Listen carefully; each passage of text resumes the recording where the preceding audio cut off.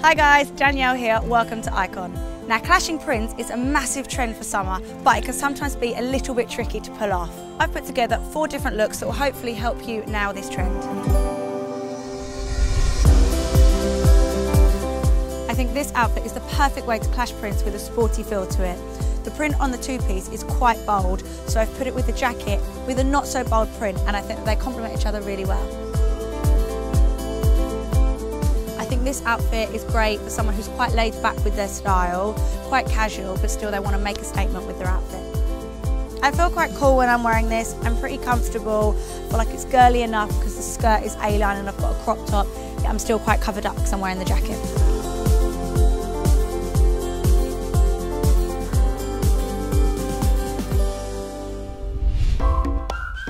This is a perfect outfit to wear when you want to have a laugh with your mates, you're having a really fun day, really casual, chilled out. I've worn it with some flat sandals, but you can also put some heels on it if you wanted to make it a bit more dressy.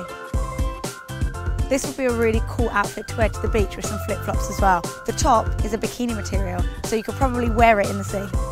After seeing this top, I knew it had to have some really colourful shorts with it. So I added these zebra print green and pink shorts and then teamed it with an animal print sandal just to finish it off. This outfit is definitely for a girl with a good sense of humour. The print is really fun and the colours are really cool.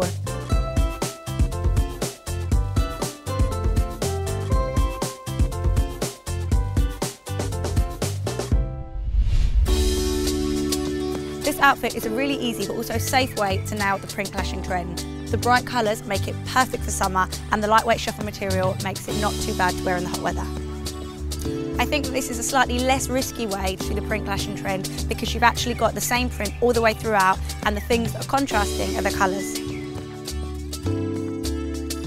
This outfit is perfect to wear for a summer event like a wedding or a summer party. But if you wanted to have a more dressed down look, you could team it with some flat sandals and it'd be perfect as a casual look during the day.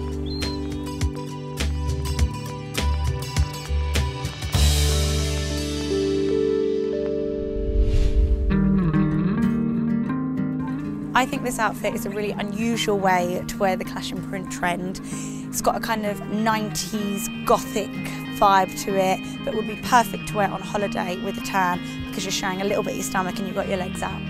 Because the rest of the outfit is quite bold and out there, I've gone for a really plain and simple black and gold sandal, which I think really complements the colours in the skirt.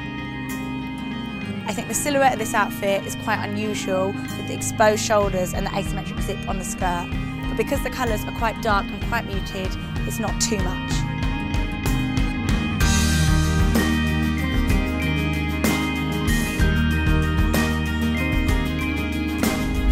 Thanks for watching guys, I hope you enjoyed the video. Please let me know what your favourite look was in the comments below and if you want to see my previous lookbook, click here.